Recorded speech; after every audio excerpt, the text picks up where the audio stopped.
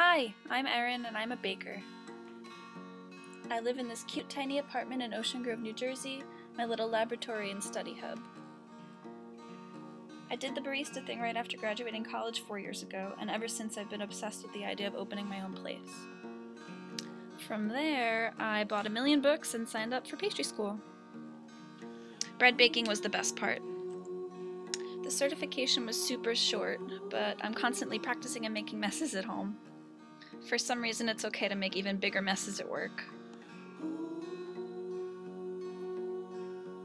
The other day, I was researching bread classes like crazy and stumbled across ICE's website and this challenge.